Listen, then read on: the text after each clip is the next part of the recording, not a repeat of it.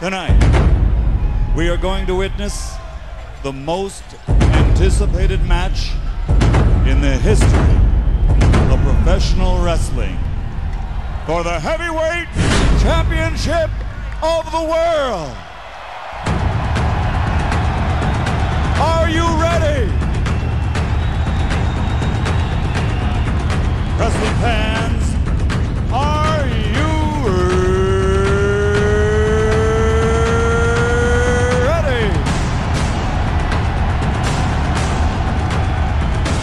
For the thousands of Better way to around the world. down the curtain.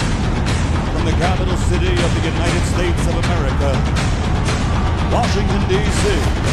Ladies